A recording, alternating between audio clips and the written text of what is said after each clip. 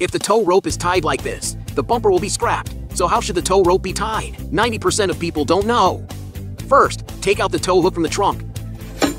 Then at least 50% of the people don't know where the tow hook should be inserted. You see, there is a small cover on our bumper, which can be opened by hand.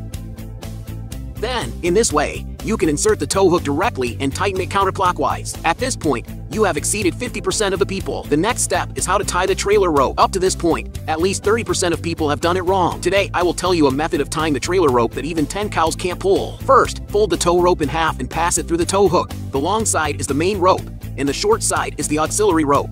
Then take out the main rope from the rope circle and then fold the auxiliary rope around the main rope in half and pass it through the upper rope circle. At this time, it will only be pulled tighter and tighter.